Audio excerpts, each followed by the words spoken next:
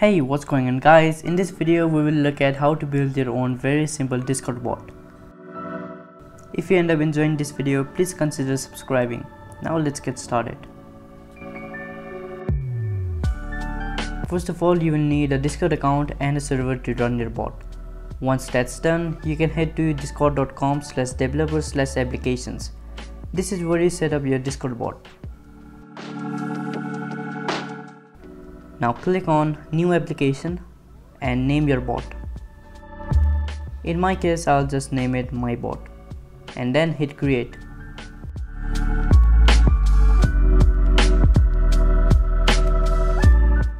Once that's done you can go to bot section and click on add bot and confirm. Our discord bot is created. You will also find a token of your bot. This token will be very important later. Now to program our bot, we'll go to Replit. Replit is an online IDE that requires no installation and you can basically write programs from the browser. Now go to My REPLs and create a new REPL. Choose Python as your language and name anything. I will just name it testbot click on create REPL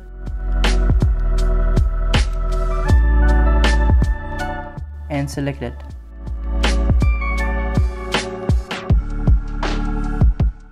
Wait for it and we are good to go. Now we can start to program. Let's import the Discord library. After that's done, we'll make an instance of client.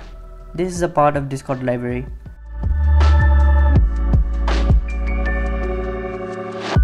We need a client.event decorator.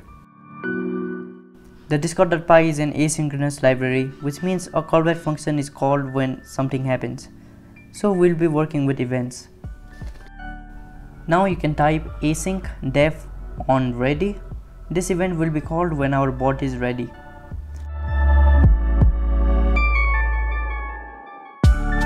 So you can simply print something on the console when this is called. I'll just use logged in as discord client using format. Now we're gonna create another event so this event will be called when someone messages. So we can do the same thing but this time it will be on message function. And no you cannot change the function's name. So now when we get a message we will check if it's from the bot itself. So type if message.author equals client.user we will simply return.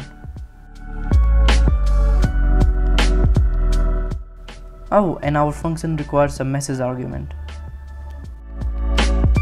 Now we will see if the message is hello.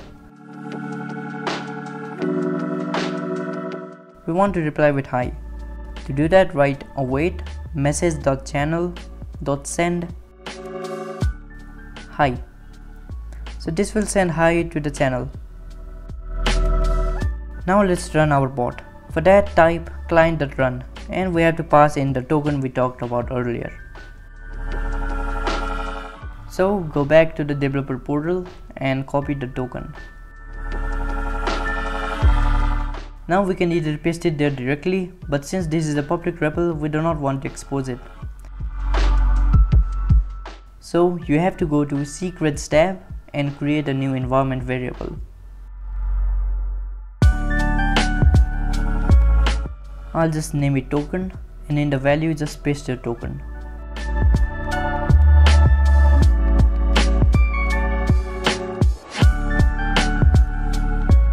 Now we have to import a new library OS and we can access our token by writing os.getenv and passing the name of our variable.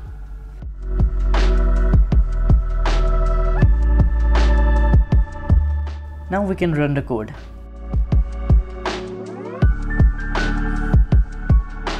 It will automatically install all the dependencies imported.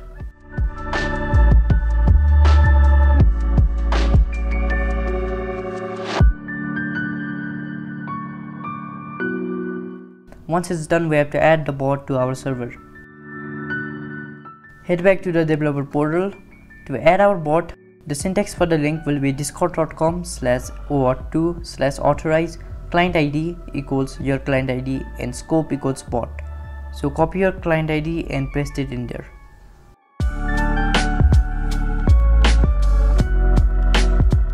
So from here we can add our bot to the server.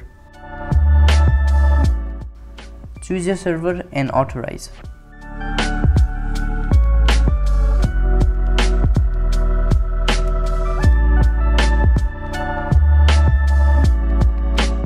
Now the bot is added to our server.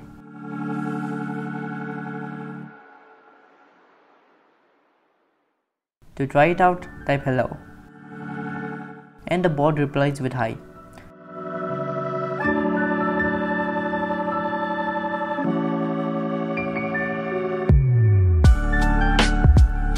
You can further customize the code the way you like, but this is a general structure of building a Discord bot. I will try to make this bot more useful by utilizing the exact same code I made during the previous video of weather API.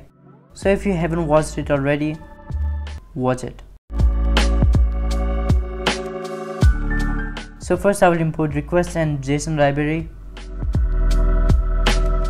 Then I'll make a URL variable and add the link of the weather API.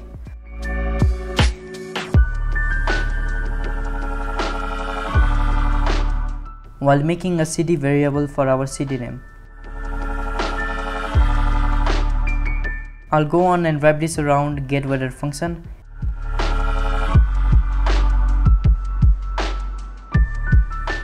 and pass in city as an argument.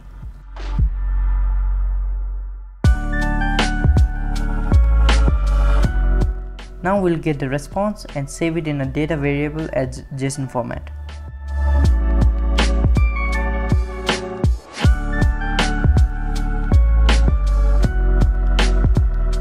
Now we will get all the types of data such as temperature, humidity, etc. from that data.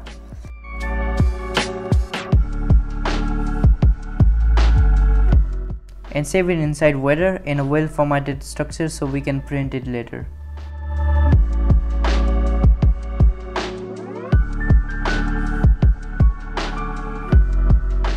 Then of course we have to return our weather.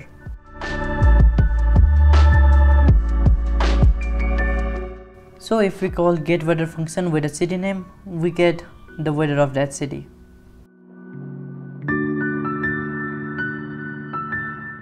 Finally, what I will do is if weather.content starts with dollar $weather, I will create a word list and split every word.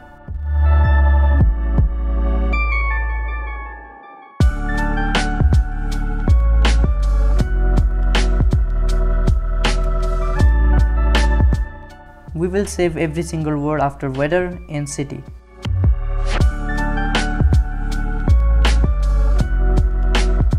And finally, we can call our function with the city name and send it to the channel.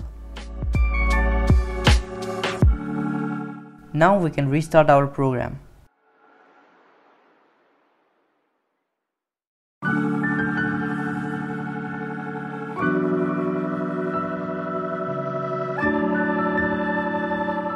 And the bot no longer replies to hello.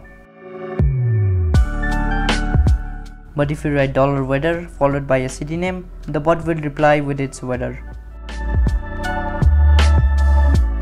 Once again, every link including the previous video on weather API will be in the description.